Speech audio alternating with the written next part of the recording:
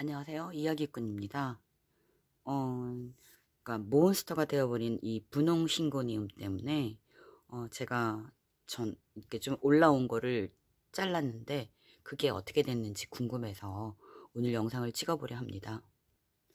어, 분홍 신고니움에서 잘랐던 게 지금 뿌리가 났을지 어땠을지 되게 궁금한데 한번 뽑아볼까요? 이게 음, 한 뿌리 위에 하나 뿌렸으니까 어, 뒤에 얘를 갖다 나중에 꼽았지만 음, 바퀴라요. 음. 어떻게 됐을까? 어? 하나가 아니네. 어, 뿌리가 났네요. 아, 뽑았으니까 그냥 심어버릴까요? 음. 어, 뒤에 보이는 게 있죠? 저기 카랑코에 별로 상태가 안 좋지만 2주일 된 건 뿌리가 저렇게 많이 났고요.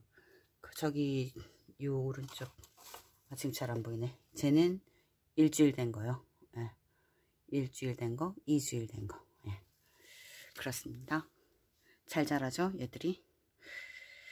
하, 어, 분홍 신고니움, 음, 그 삽목한 거, 이렇게 뿌리가, 아, 잘 안 보이게 돼 있네. 잘 자랐어요. 예.